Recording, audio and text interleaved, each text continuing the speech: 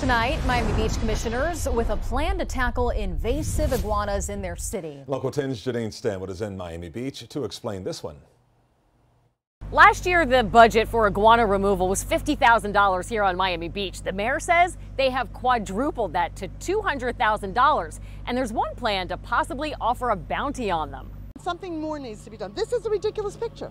They're invasive and destructive. This guy got famous on Lincoln Road a few years ago. But since then, the iguana population on Miami Beach has been booming. You can even look on my neighbor's, on her property. Yeah. It is full of, uh, I, I don't know, I, I have to say. What uh, she wants to say is poop, and we saw it everywhere too.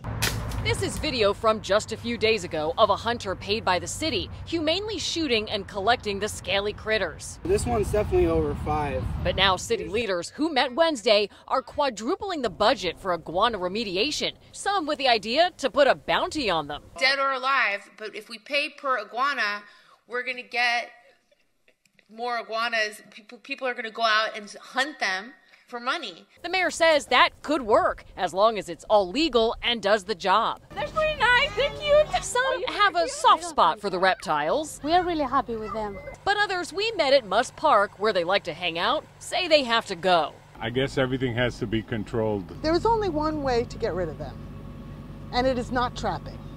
The mayor says they are looking into removing these iguanas not only on public property like this park, but also private property as well. They are going to be forming an ad hoc group and they'll be taking bids. So we'll stay tuned. We're on Miami Beach. I'm Janine Stanwood, Local 10 News.